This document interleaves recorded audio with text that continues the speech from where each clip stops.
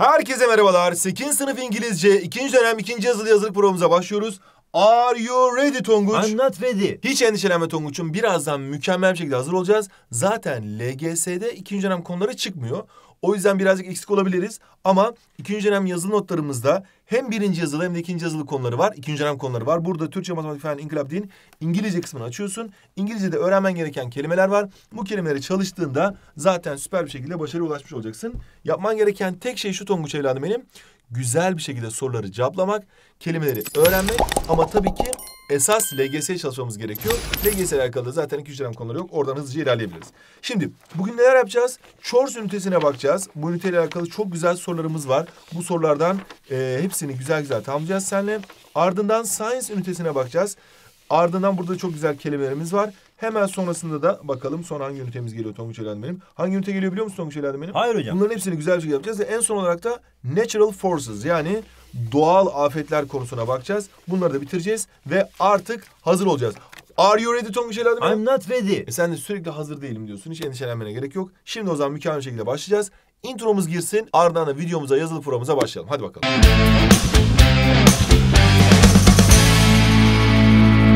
Şimdi chores ev işleri demek. Burada I like it when veya I don't like it when yani hoşlandığımız zamanlar ya da hoşlanmadığımız şeyleri söyleyeceğiz. You must clean your room yani odanı temizlemek zorundasın. You must tidy your bed yatağını toplamak zorundasın. Buna benzer kavramları göreceğiz. My father is responsible for cooking dinner.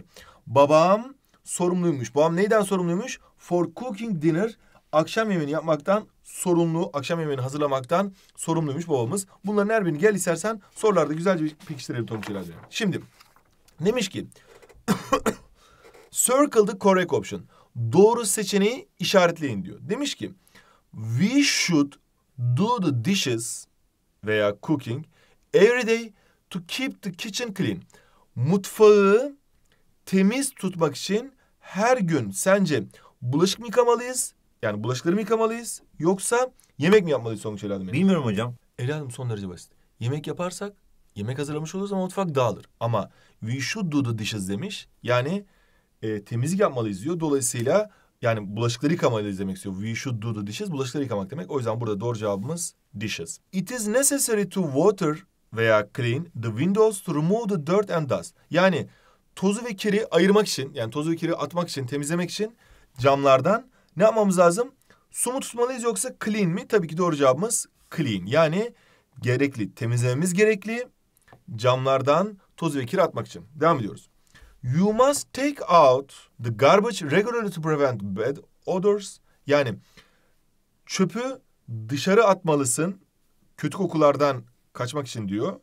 Ya da you must move demiş. E tabii ki burada take out yani dışarı atmamız gerekiyor. Move ne demek biliyor musun Tonguç evladım benim? Bilmiyorum hocam. Move da biçmek demek. Çok önemli bir kelime değil ama burada çöpü dışarı atmamız önemli. Kötü kokulardan ko- korunmamız için. Şimdi devam ediyoruz. She is responsible for cleaning, washing the kitchen after cooking. Bak o sorumluymuş. Yemekten sonra mutfağı yıkamakla mı yoksa mutfağı temizlemekle mi? Tabii ki cleaning yani temizlemek. Yani mutfağı yıkamak değil de kıyafetleri yıkarız, tabakları, çanakları yıkarız ama mutfağı temizleriz. My brother is in charge of washing, helping the car every weekend. Şimdi burada arabayı yıkamak mı, arabayı yardım etmek mi? Tabii ki arabayı yıkamak. Kardeşim araba yıkamaktan sorumluymuş. It is time to load, it is time to mop the floors to remove the dirt and stains. Tozu ve kiri, e, pası ve kiri temizlemek mi? Yani paspaslamak mı? Yoksa yüklemek mi? Tabii ki mop diyeceğiz sonuç olarak. Yani zeminden pası ve kiri göndermek için ne yapmamız lazım? Mop yani paspaslamamız gerekiyor. They should load dry the dishes immediately after each meal. Onlar her yemekten sonra hemen bulaşıkları bulaşık makinesine dolduruyorlarmış. Dolayısıyla dry kurumak oluyor. Hemen yemekten sonra kurutamazlar ama load yükleyebilirler. Dolayısıyla load. He is responsible for o sorumluymuş. Watering sulamak, eating yemek. The plants in the garden e tabii ki bahçedeki bitkileri yemekle sorumlu olamaz da sulamakla sorumlu olabilir. O yüzden watering. You have to cook make the table before the guests arrive. Sen masayı pişirmelisin mi? Hazırlamalısın mı e, misafirler gelmeden önce? E, tabii ki make. You have to make the table. Masayı hazırlamalısın. Before the guests arrive. Misafirler ulaşmadan önce, varmadan önce masayı hazırlamalısın. It is necessary to set the bathroom. It is necessary to clean the bathroom regularly to maintain hygiene. Hijyeni devam ettirebilmek için yani hijyenli olmasını sağlayabilmek için düzenli bir şekilde banyoyu kurmak mı temizlemek mi? Tabii ki temizlemek diyeceğiz. It is necessary to clean the bathroom. Banyoyu temizlememiz gerekiyor. Şimdi geldik buraya. Write true or false. According to the text. Metne göre doğru ya da yanlış yazın diyor. Hello, my name is Ayşe. Benim ismim Ayşe. Merhaba. At home we all have different chores to help with household tasks. Evde hepimizin farklı farklı ev işlerinden sorumluluğumuz var diyor. I'm responsible for keeping my room clean and doing the laundry. Ben sorumluyum odamı temiz tutmaktan ve laundry yani çamaşıra yardım etmekten sorumluyum. I also help my mother in the kitchen by preparing meals and washing the dishes. Ben aynı zamanda yardım ediyorum anneme mutfakta, yemek hazırlamada ve bulaşıkları yıkamada. My brother Ahmet takes care of outdoor chores. Benim kardeşim Ahmet evin dışındaki ev işlerinden sorumlu diyor. He mows the lawn, water the plants and takes out the trash. O mow biçmek de hatırlarsan hemen şuraya yazıyorum tekrar. Biçmek. Lawn da tabii ki çimler. Çimleri biçmekten sorumlu diyor. Water the plants. E, bitkileri sulamaktan sorumlu. And takes out the trash. Yani çöpleri dışarı atar diyor. My father Ali is in charge of grocery shopping and fixing things around the house. Benim babam Ali e, manav alışverişinden ve e, evin etrafındaki eşyaları yani işleri böyle fixing yani tamir etmekten sorumlu diyor. My sister Zeynep doesn't have any specific chores. Kız kardeşim Zeynep'in böyle belirgin bir ev işi sorumluluğu yok diyor. Because she is still very young. Çünkü o hala çok genç diyor. She is still very young. She mostly plays and helps us when she can. O genellikle oyun oynar diyor ve bize edebilirse yardım eder diyor. Şimdi bakalım. Ayşe is Ayşe is responsible for outdoor chores demiş bak. Ayşe hemen şöyle çizelim altını. Konuşan arkadaşımızın adı Ayşe'ydi. Şimdi bir Ayşe'miz var konuşan arkadaşımız tamam mı? Bir onun kız kardeşi Zeynep var o fazla bir şey yapmıyordu. Sonra babası Ali vardı. Dışarıdaki işlerden sorumluydu alışveriş yapıyordu işte fixing things around the house diyordu. Sonra e, nerede başka annesi vardı. Annesi de şurada olsun. Annesi de bayağı bir işten sorumluydu. Bir de e, brother Ahmet. Ahmet vardı kardeşi. O da bir şeyler yapıyordu. Bak şimdi diyor ki My brother takes care of the outdoor chores. Bak benim kardeşim Ahmet e, evin dışındaki işlerden sorumlu. Dolayısıyla Ayşe is responsible for outdoor chores. Doğru mu yanlış mı Tonguç evladım benim? False. Süpersin. O zaman buraya hemen yanlışı yazdık. Güzel. Ahmet helps his mother in the kitchen. Ahmet yardım ediyormuş annesine mutfakta diyor. E, hayır Ahmet yardım etmiyordu.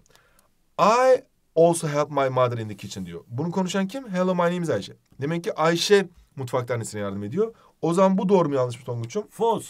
Süpersin. Gerçekten güzel gidiyoruz. Ali takes care of grocery shopping. Ali e, manav alışverişinden sorumluymuş. Ali kimdi? Babası. My father Ali is in charge of grocery shopping. Ha babam Ali manav alışverişinden sorumluymuş. O zaman zaten Ali sorumlu da diyebiliriz. O zaman bu doğru mu yanlış mı Tonguç'um? False. Süpersin. O zaman buraya da hemen doğru yazıyorum. Zeynep has no chores because she is too busy with school. Zeynep'in fazla işleri yokmuş, sorumluluğu yokmuş. Çünkü o çok meşgulmüş okulla diyor. Bakalım. My sister Zeynep doesn't have any specific chores. Benim kız kardeşim Zeynep'in belirgin bir ev işi yok diyor. E tamam doğru. Fakat bunun sebebi yanlış açıklanmış. Because çünkü she is still very young. O çünkü hala çok küçük diyor. O yüzden ev işlerine yardım edemiyor. Halbuki burada ne demiş? She is too busy with school. Okulla çok e, nedir onun adı meşgul diyor. Dolayısıyla bu yanlış mı doğru mu Tonguç'um? False. Süpersin. O zaman buraya da hemen yanlış yazıyoruz. Ayşe's father is responsible for fixing things around the house. Ayşe'nin babası, bu konuşan arkadaşımızın babası, sorumluymuş. Evin etrafındaki bozuk şeyleri tamir etmekten sorumluymuş. Yani düzeltmekten sorumluymuş. Zaten bunu da söylemiştik. Ne diyordum? My father Ali is in charge of grocery shopping and fixing things around the house. Fixing things around the house. Ayşe'nin father'ı yani babası. Dolayısıyla bu da yine ne oluyor Tonguç'um? True. Süpersin. Çok güzel. Hepsini iyi yaptık. Güzel yaptık. Şimdi son sorumuza geldik. Ahmet mows the lawn. Biçiyor çimleri. And waters the plants. Ve bitkileri suluyormuş. Bu doğru mu Tonguç'um? True. Tamam doğru diyorsun. Bir kontrol edelim. Sana güvenmiyorum. Bir daha bakalım şurada. Hmm. My brother Ahmet takes care of the outdoor chores. Ha, he mows the lawn yani Ahmet mows the lawn. Water the plants, bitkileri suluyor and takes out the trash ve çöpleri dışarı atıyor. O zaman bu da doğru. Gerçekten bunu da doğru yapmışsın. Tebrik ediyorum Tonguç. Geldik buraya. Match the words with the pictures. Resimleri kelimelerle eşleştirin diyor. Make the bed, yatak yapmak. Yani yatağı hazırlamak. Vacuum the house, evi süpürmek. Do the laundry, çamaşırı yıkamak. Water the flowers, çiçekleri sulamak.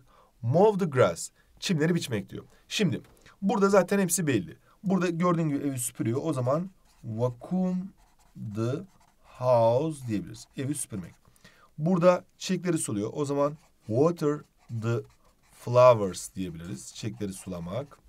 Burada yatağı yapıyor. O zaman make the bed diyebiliriz. Yatağı yapmak.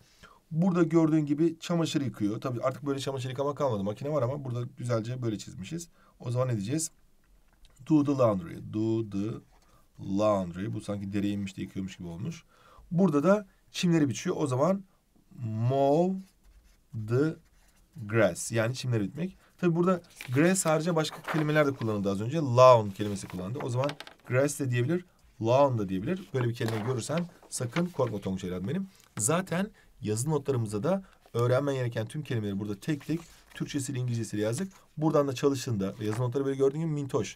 Yanında da gezdirip e, bunlarla güzel güzel e, tekrar ettiğinde her biri aklında kalacak. Bak burada mesela clean up the house, evi temizlemek. Prepare the meals, yemek hazırlamak. Do chores, ev işleri yapmak. Do the grocery shopping, manav alışverişi yapmak. Do the laundry, çamaşır yıkamak. Dust the furniture, mobilyanın tozunu olmak. Dust the shelves, rafların tozunu almak. Bunların her birini güzel güzel yazdık. Buradan çalışıp tekrar edebilirsin Tonguç'um. Şimdi geldik buraya. Science ünitesindeyiz. Describing the actions happening currently. Yakın bir zamanda olan şeyleri tarif etmek. I am preparing a science project at the moment. Şu anda hazırlıyorum bir fen projesi diyor. Talking about past events. Geçmişteki olaylar hakkında konuşmak. Newton discovered the gravity. Newton yer çekimini e, keşfetti diyor. Şimdi buradaki mantığımız şu. Şöyle bir zaman tablosu düşünürsek. Şimdi yaptığımız şeyler yani now ya da at the moment şu anda ya da işte today gibi ifadeleri gördüğümüz zaman ne diyeceğiz mesela? E, I am playing. Oynuyorum diyeceğiz.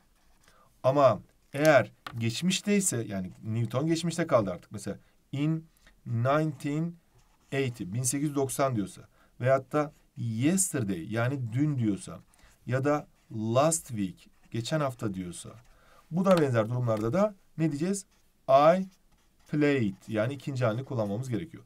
Burada I am playing, burada I played. Şimdi gel bakalım alıştırmalarımıza. Write I for inventions, D for discoveries. İcatlar için I harfi yazın diyor. Keşifler için de discoveries, keşifler demek D harfi yazın diyor. Şimdi arasındaki farkı biliyor musun Tonguç benim? Evet hocam. Çok güzel. Bu çünkü Türkçe'de de çıkıyor. Neden? Keşif zaten olan bir şeyi keşfediyorsun. Mesela diyelim ki Amerika zaten var. Amerika dünyada bir yerde vardı. Gitti bunu Christoph Kolomb gemilerle seyahat etti falan filan ve Amerika'yı keşfetti. Zaten duruyordu. Ama televizyonu birisi icat etti yani. Televizyon bir yerlerde vardı onu bulmadı. Televizyonu yoktan var etmiş gibi icat etti. Dolayısıyla bir şeyi baştan üretmeye icat diyoruz. Keşfetmeye de zaten olan bir şeyi bulmaya da keşif diyoruz. Şimdi başlayalım. Televizyon tabii ki bir icat. O yüzden inventions bak buraya I yazıyorum. Hatta İngilizce'de büyük I böyle yazıldığı için böyle yazıyorum. Gravity yer çekimi bu zaten vardı. Allah yer çekimini yaratmıştı. Onu Newton keşfetti. Dolayısıyla burada discover ediyorum. Pen, kalem dolayısıyla invention yani icat edildi. Fosiller zaten vardı. Discovery diyeceğiz. DNA zaten vardı. Allah bunu yaratmıştı. İnsanların her birinin DNA'yı var. DNA'sı var. O yüzden burada ne diyeceğiz? Keşfedildi. Discovery. Vaksin, aşı bunu insanlar icat etti. Doğada aşı yoktu.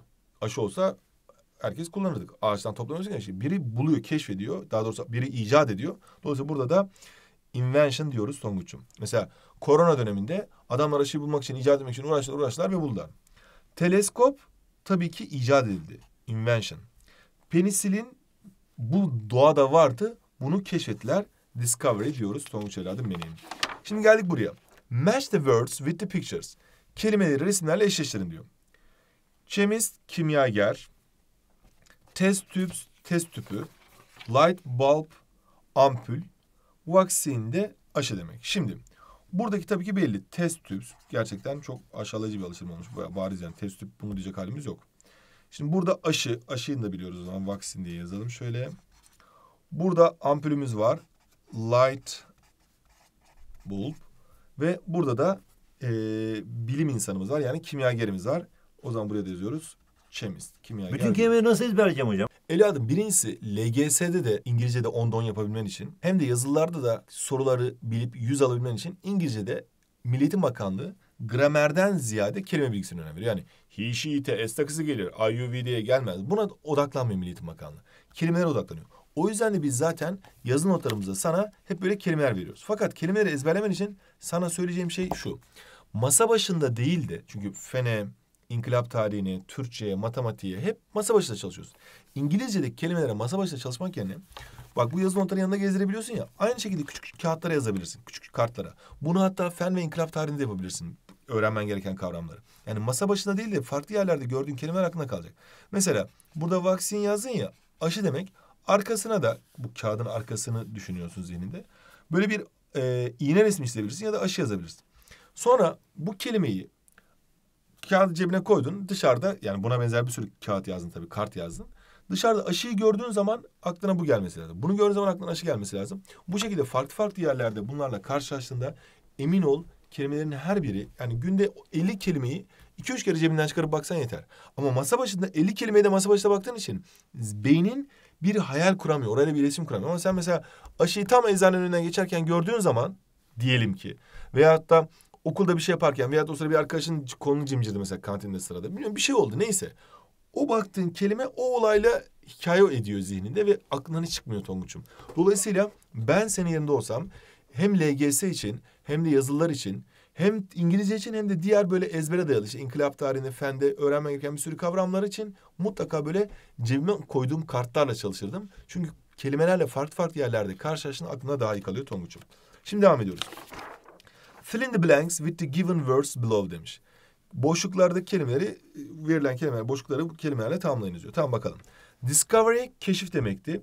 Teknoloji, teknoloji demek zaten. Scientist, bilim insanı. Contributions, katkılar yani bilim insanlarının katkıları.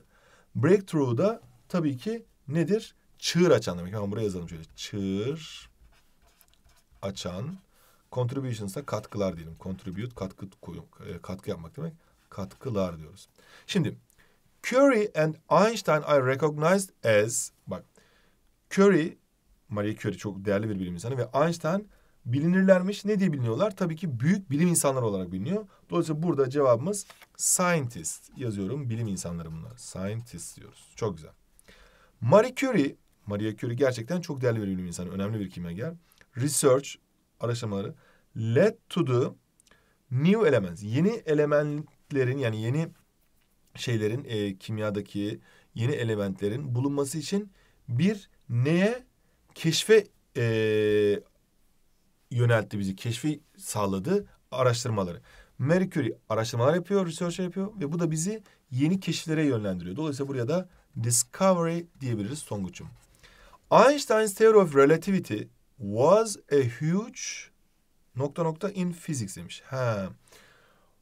Einstein'ın görecelik teorisi nedir? Büyük bir çığır açan olaydır fizikte. O zaman ne diyeceğiz? O zaman buraya büyük çığır açtığı için breakthrough diyebiliriz. Hemen buraya yazıyorum. Güzel bir şekilde ve devam ediyoruz sonuç. Both Curie and Einstein, Einstein da Curie de were known for their, bilinirlermiş, neleriyle biliniyorlar? E, fiziğe katkılarıyla biliniyorlar. Zaten Marie Curie değerli bir fizikçi aynı zamanda. Buraya yazıyoruz. Katkılar yani contributions. Contributions diyoruz Tonguç'um.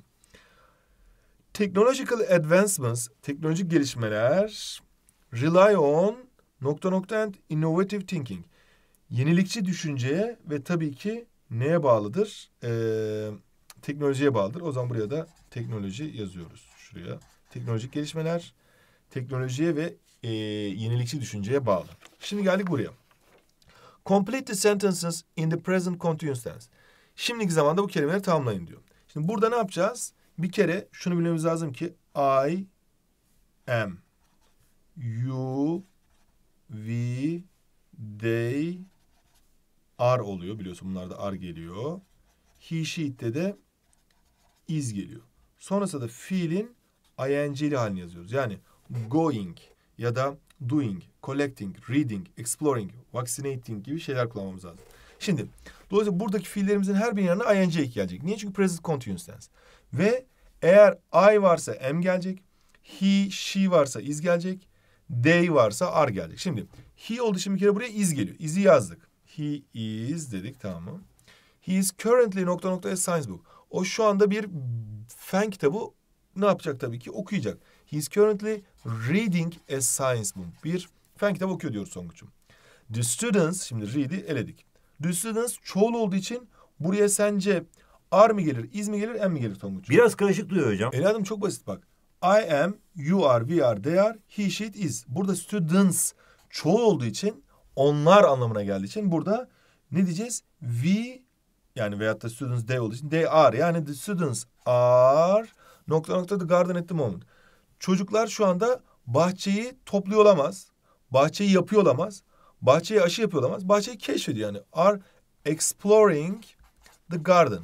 Bahçeyi keşfediyorlar. Tamam. They yine are geliyor tabii ki. They are their homework now. Onlar şu anda ödevlerini yapıyorlar. They are doing their homework now. Bu da bitti. Researchers, araştırmacılar data right now. Şu anda data topluyorlar. Researchers çoğul olduğu için yine are gelecek. Bak students are geldi. Az önce biraz karışık falan dedin ama esasında belli. Çoğullarda are geliyor. Researchers are ne yapacağız? Collecting. Researchers are collecting data right. Şu anda data topluyorlar. She is, he, she'de is geliyordu. She is the teenagers against the disaster now. Now bak hepsinde now var gördüğün gibi. At the moment ya da now. Şu anda bir de currently kullanılmış tabii. Şimdi diyor hastalığa karşı çocukları aşılıyormuş. O zaman vaccinating diyeceğiz. Vaccinating the teenagers gençleri aşılıyormuş. Geldik natural forces yani doğal afetler konusuna. Şimdi burada da will'i göreceğiz. Şimdi there will be serious water shortage in the future. Gelecekte ciddi bir su kıtlığı olabilir diyor. Şimdi az önce şimdiki zamana bakmıştık. Yani now dediğimizde, at the moment dediğimizde, işte today dediğimizde şimdiki zaman oluyor demiştik. Geçmişte öğrendik. Geçmişte ne vardı? İşte yesterday dediğimizde dün olduğunda geçmiş oluyordu. Ya da last week olduğunda, geçen hafta olduğunda geçmiş oluyordu. Bir de şimdi de Tonguç'um geleceği öğreniyoruz. Yani future. Mesela yarın bir gelecektir. Veyahut da in 2090, 2090 bir gelecektir. Bunlarda da will'i kullanacağız. Burada I am doing diyorduk. Burada will do diyeceğiz. Burada ise geçmiş olduğu için did diyoruz Tonguç'um. Şimdi başlayalım. Geldik buraya. Match the words with the pictures. Resimlerle kelimeleri eşleştirin diyor. Flood, sel, tsunami, tsunami, landslide, heyelan, avalanche, çığ, drought da kuraklık demek. Şimdi burada en baştaki belli zaten. Resmen sel olmuş. O zaman buraya flood diye yazıyorum böyle. Çok güzel. Buraya baktık. Tabii ki heyelan yani toprak kayması. Landslide kayıyor. Dolayısıyla buraya yazıyorum. Land slide diyorum. Burada ise çığımız var. Hemen yazıyorum buraya.